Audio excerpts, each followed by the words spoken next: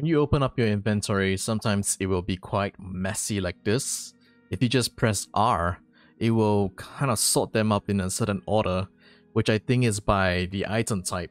Um, all the equipment seems to be at the start, and then I think these are like craftable items, and then the blocks, and then your crafting um, benches, electronic items, the plant seeds, the crop itself, and then the food buffs, the potions or whatever. I put this here, yep, it swaps places. And then once you have like a shit ton of stuff you want to store into your um, the chest, you could just go straight to the chest, open it up, and then press Q on your keyboard, and it will stack everything into the chest.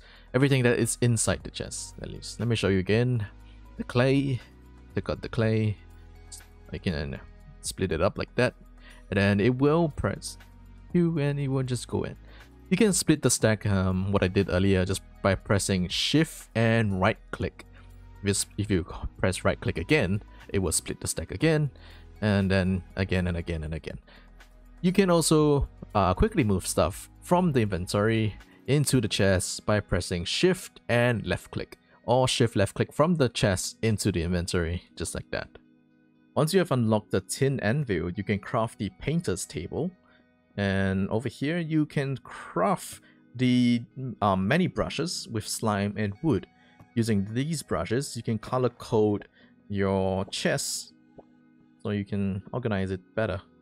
I like it blue. Later on, you can use mechanical arms to transfer smelted items into the chest. That's all for this video. Thank you for watching and I'll see you soon.